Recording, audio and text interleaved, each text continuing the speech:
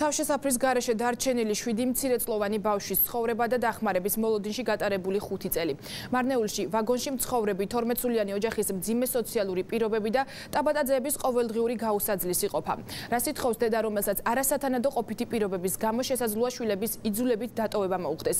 მარიამ სოლოღაშვილის რეპორტაჟი სოფელ თამარისიდან. ეს ტაბატაძეების ერთადერთი თავშესაფარია.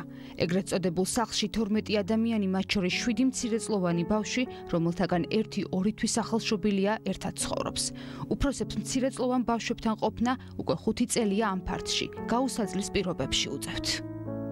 შეერი ბავშვები მიკვდებოდნენ 12 დღე ავად ვიყავი სიცხეალი ექიმე არ მივიღეს ფული უნდა ფული მე არა მაგრამ რამდენი გავაკეთო. ესენი არიან და კიდე ბავშვები საჭმელის ფული რო არ გიქნა ბავშვი რო გეტყვის მშია მაჭამე დედა ორი კვირა მშიერები მეზობელი გელადვალი გაახაროს ღმერთმა ვარა მისი მეუღლე და დირექტორი გურამ ქადარია ყველა ეს ორი ადამიანია ვინც მეხმარება სხვა არავის ჩემგვერდში არ დამდგარა. ვინც ხვდება გაჭირებულ ადამიანის მდგომარეობას ყველა მეხმარება ვინც არა და საცილად გვიგდებენ ვაგონში ცხოვრება მათთვის უკვე ფუფუნებად იცა. ზესტაფონიდან ოჯახური კონფლიქტის შედეგად მარნოულში ჩამოსული ოჯახის ერთადერთი საცხოვრებელი სესხით შეძენილი მოძველებული ვაგონია. უამინდობის დროს აქ ისევე წვიმს როგორც გარეთ. 7 წლის ბექას, 3 წლის ნანას და 2 წლის ანის ერთადერთი ოცნება ნამდვილი სახლი და ბევრი სათამაშოა. ოცნებას ბავშვები საკუთარ ნახატებში ისრულებენ, თუმცა მათი დღევანდელი რეალობა ძიმე და აუტანელია.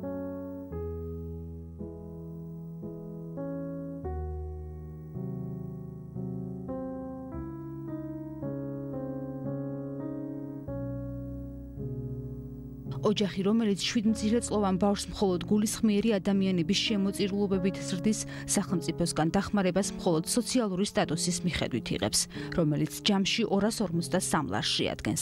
ამის გამო ახალგაზრდა მშობლები დამატებითი შემოსავლის მისაღებად ფიზიკურად შრომობენ, საიდანაც ანაზღაურება დღეში 15 ლარს შეადგენს.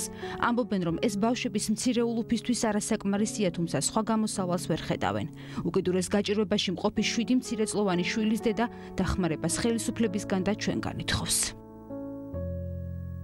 ერთადერთი მინდა რომ საკუთარი სახლი კონდეს ჩემშვილებს და მიწა თუნდაც მიწა იყიდო მიყიდოს თავრობა მეც არაფერს არ ვითხარ რომ პატარა ორი თვალი ოთახი ჩავდგა და ნელა დავიწყო ცხოვრება. საკუთარ მამა მოგწერა ჩვენი ბინიდან სადაც ცხოვრობდით ზესტაფონში და ანუ ღიაცის ქვეშ რო არ დავრჩენილიყავით წამოვედით აქეთკენ და მოხდა ესე რომ შევრჩით აქ ყოფნას ჩემი მეუღლე მუშაობს აქ რითაც ვირჩენთ თავს ხან ცელებ მიწაზე რა თოხნაზე დადის ცელებზე დადის.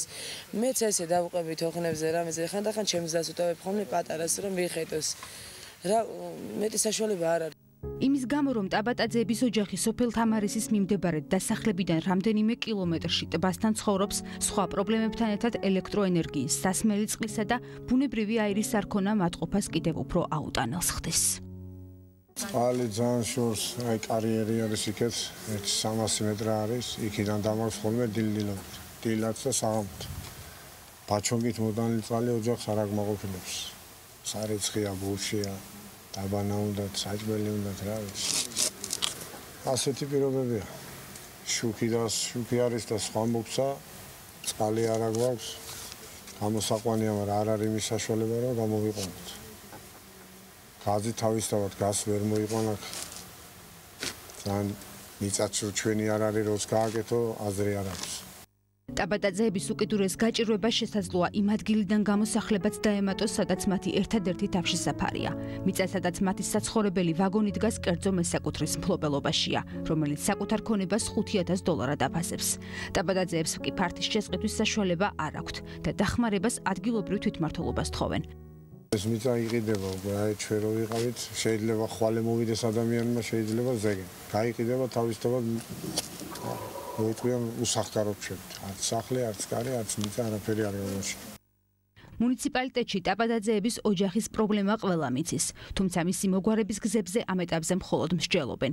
მერაბთოფჩიშვილის განმარტებით საკითხს მათი საცხოვრებლის რეგისტრაცია ართულებს. მუნიციპალიტეტს არც საბინაო ფონდი გააჩნია, რითაც შესაძლებელია ტაბადაძეების ოჯახის ფართვის უზრუნველყოფა მოხდეს. აღნიშნული პირები არ არიან რეგისტრირებული მარნეულის რაიონში. და მათ შეხვედრის დროს მაშინ მაშინ რა გვქვი მე დავავალე ჩემს ადმინისტრაციულ სამსახურს და იურისტებს რომ დახმარება დახმარებოდნენ და აღმოიჩინა დახმარება რომ რეგისტრაციის საკითხებში. პირველი რაც არის აუცილებლად გასაკეთებელი რომ ჩვენ შეგვეძროს მათთვის რაიმე დახმარების მოძიება და გაცემა მუნიციპალიტეტ და ბიუჯეტიდან შემდეგ რაც არის ჩვენ უნდა დავიჯეროთ აუცილებლად და ვიზრუნოთ მომატამიანებზე თუ როგორ დავაბინაოთ და სად გამომდინარე იქიდან რომ ჩვენ არ გავაჩინია მუნიციპალიტეტს საცხოვრებელი ფონდი ჩვენ უნდა მოუწევთ რაიმე ალტერნატიული გზა რომ რამენაირად დახმარება აღმოჩნდეს გულისხმიერი ადამიანების დახმარების იმედად დარჩენილი ტაბატაძეების მომავალი ამ ეტაპზე გაურკვეველია. მსგავსი პირობების გამო როგორც ბავშვების დედა აცხადებს, არ არის გამორიცხული შვილების ჩამორთმევის საკითხიც დადგეს. გააგრძელებენ თუ არა საკუთარ სახლზე მეოცნები პატარები მშობლებთან ცხოვრებას, პასუხისმგებლობა სახელმწიფოსა და ყველა ჩვენთანგანს თანაბრად გვეკისრება. ისინი ჩვენი გულისხმიერების მოლოდინში არიან. ტაბატაძეების ოჯახის დახმარების მსურველებმა შეგიძლიათ დაარეკოთ ქვემო ქართლის ტელეკომპანიის შიდა ნომერზე 25 54 00